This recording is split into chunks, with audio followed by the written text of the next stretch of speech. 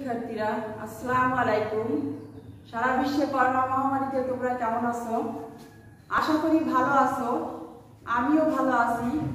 আমি মোসাম্মদ জেবুলিসা খালাম সরকারি CS pilot model মাধ্যমিক বিদ্যালয়, কচুয়া বাগেরহাট ভোকেশনাল শাখা।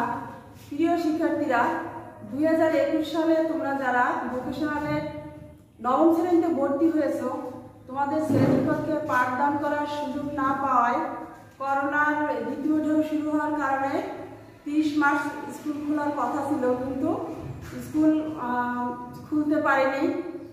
করোনার দ্বিতীয় ঢেউ শুরু হওয়ার কারণে সরকার ছুটি বাড়াতে বাধ্য হয়েছে। তাই আমার তোমাদের অনলাইনে ক্লাস নিচ্ছি অনলাইন ক্লাসের পক্ষ থেকে সবাইকে স্বাগত জানাই। আমি তোমাদের সিলেবাস সম্পর্কে একটু কথা বলব। আমার বাংলায় চারটা বিষয় বাংলা সাহিত্য বাংলা রচনা সম্ভার, বাংলা ব্যাকরণ ও বাংলা সহপাঠ এই চারটা বিষয় নিয়ে তোমাদের একশো মার্কের একটা পরীক্ষা হবে, ষাট মার্কের লিখিত পরীক্ষা হবে, আর চল্লিশ মার্ক আমাদের হাতের মার্ক। তা তোমাদের সিলেবাসে বাংলা সাহিত্যে গদ্য পাঁচটা থাকবে, পাঁচটা পদ্য থাকবে। আজকে আমি তোমাদের গদ্য পড়াবো, বই পড়া। বই পড়া লিখেছেন প্রমোদ চৌধুরী। লেখক হচ্ছেন প্রমোদ চৌধুরী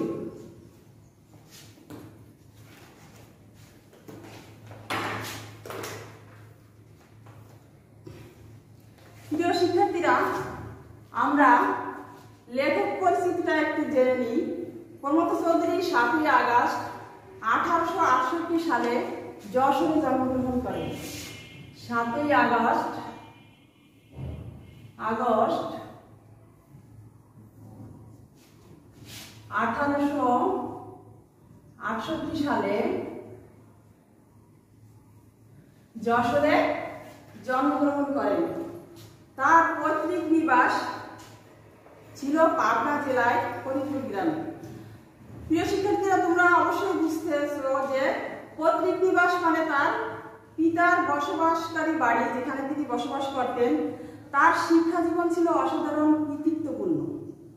তিনি আঠারোশো নব্বই সালে কলকাতা বিশ্ববিদ্যালয় থেকে ইংরেজি সাহিত্যে প্রথম শ্রেণীতে এম এ ডিগ্রি লাভ করেন এবং পরে ব্যারিস্টারি পড়ার জন্য বিলাত যান।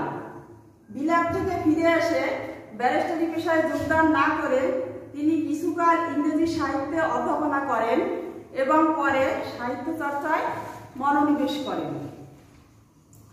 তার সাহিত্যিক ছদ্মনাম ছিল বীরবল প্রিয় শিক্ষার্থীরা, এখানে তোমাদের জ্ঞানমূলক প্রশ্ন হতে পারে, তার সাহিত্যিক ছদ্মনাম কি ছিল?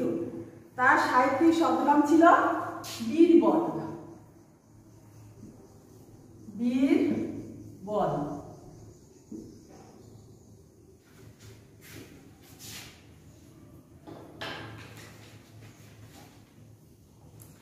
তার সাহিত্যিক ছদ্মনাম ছিল বীরবল। তার সম্পাদিত সবুজপত্র বাংলা সাহিত্যে চলতি ভাষারীতি প্রবর্তনে অগ্রণী ভূমিকা পালন করে। বস্তুত তারই নেতৃত্বে বাংলা সাহিত্যে নতুন গদ্যধারা সূচিত হয় প্রিয় শিক্ষার্থীরা, এখানেও একটা প্রশ্ন হতে পারে যে কার নেতৃত্বে নতুন, বাংলা সাহিত্যে নতুন গদ্যধারা সূচিত হয়? তার উল্লেখযোগ্য গ্রন্থ বীরবলের হালখাতা, রায়তের কথা, চারিয়ারি কথা, আহুতি, প্রবন্ধ সংগ্রহ নীললোহিত সনেট, পঞ্চাশ সাত, পদচারণ ইত্যাদি। প্রমোদ চৌধুরী, দোসরা অর্থাৎ দুইরা দুইরা বলতে আমরা বুঝি দোসরা সেপ্টেম্বর উনিশশো ছেচল্লিশ সালে কলকাতায় পরলোক গমন করেন। প্রিয় শিক্ষার্থীরা, কত সালে তাহলে? দুইরা সেপ্টেম্বর।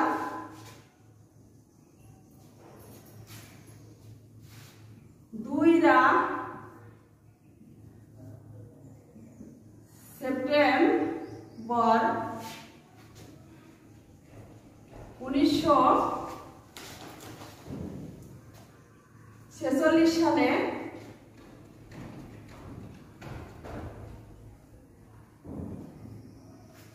তিনি কলকাতায়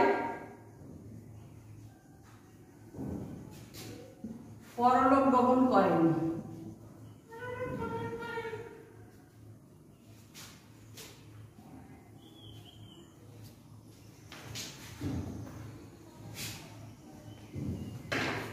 পরলোক গমন করেন।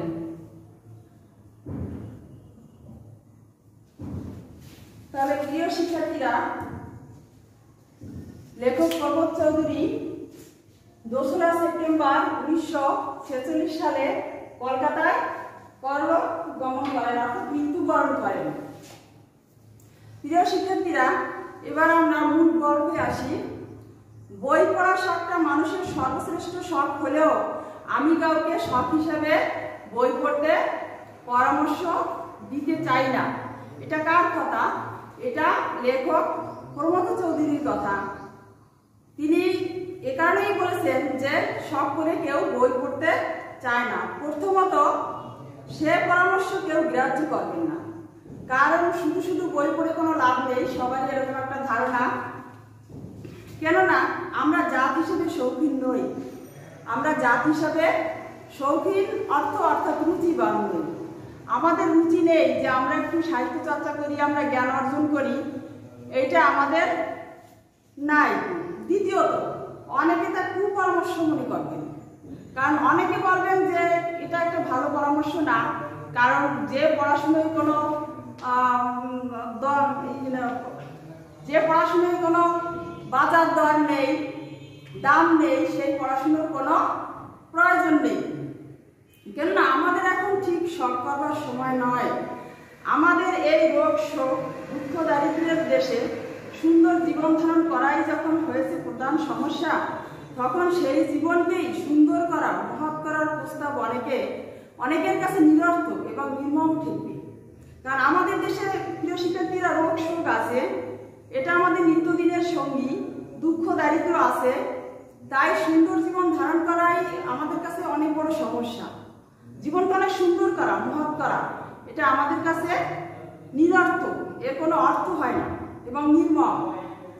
আমরা সাহিত্য রস উপভোগ করতে প্রস্তুত নই। কিন্তু শিক্ষার ফল লাভের জন্য আমরা সকলে উদাহু মানে ঊর্ধ্ব বাহু উপরের দিকে ওঠার যে গতি, আমাদের বিশ্বাস শিক্ষা আমাদের গায়ের জ্বালা ও চোখের জল দুই দূর করবে আমাদের গায়ের জ্বালা এবং চোখের জল বিভিন্ন রকম সমস্যায় আমরা জর্জরিত থাকি। এ সমস্ত দূর করার একটা ভালো পন্থা।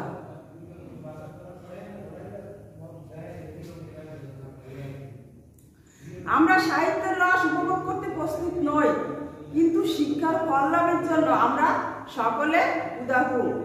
আমাদের বিশ্বাস, শিক্ষা আমাদের গায়ের জ্বালা ও চোখের জল দুই দুই করবে। এ আশা সম্ভবত দুরাশা। আমার মনে হয় এটা কোনো মতেই সম্ভব না।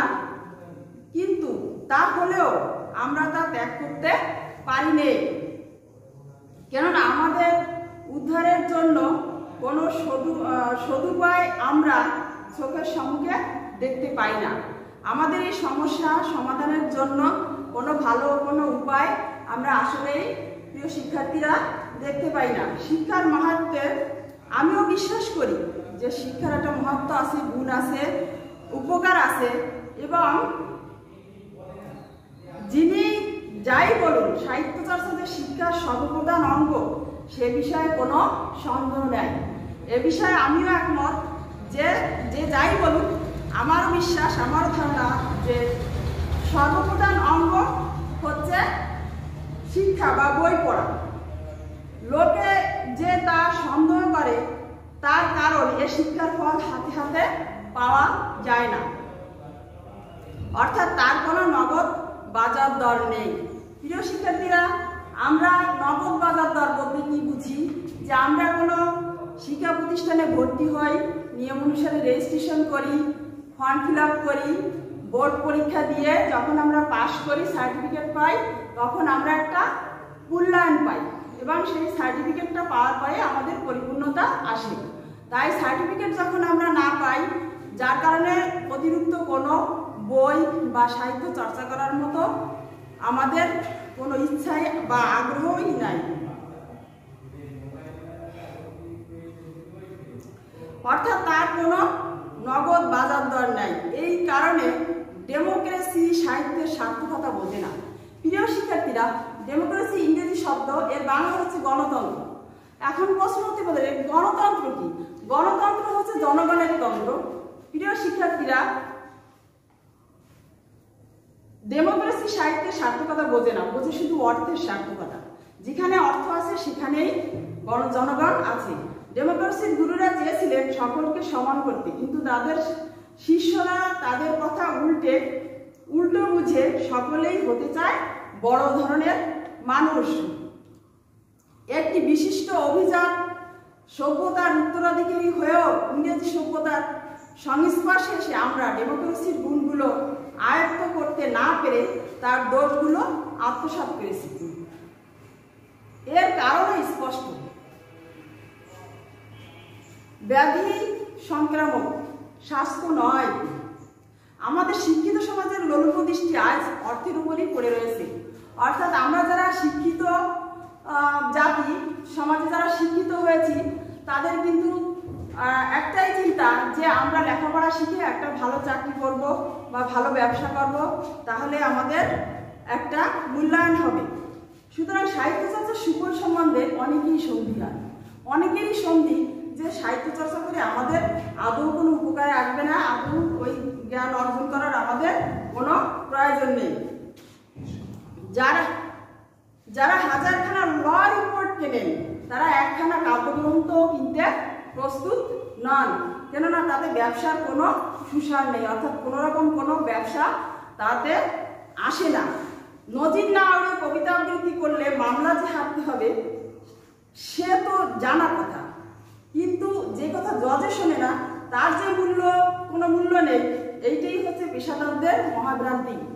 প্রিয় শিক্ষার্থীরা, আজকে আমি বই পড়া প্রবন্ধের প্রমোদ চৌধুরীর লেখা লেখক প্রমোদ চৌধুরীর লেখা গল্পটি তোমাদের পড়াইলাম লেখক পরিস্থিতি পড়াইলাম এবং গল্পের কিছু অংশ পড়াইলাম। তোমাদের তো অবশ্যই বই দিয়েছি। মূল বইটা, বাংলা সাহিত্য বইটা, তোমরা গল্পটা অবশ্যই পড়বে। গল্পটা অবশ্যই পড়বে এবং সবাই ভালো থাকবে, সুস্থ থাকবে। মাস্ক অবশ্যই পড়বে মাস্ক ছাড়া কেউ ঘরের বাইরে যাবে না।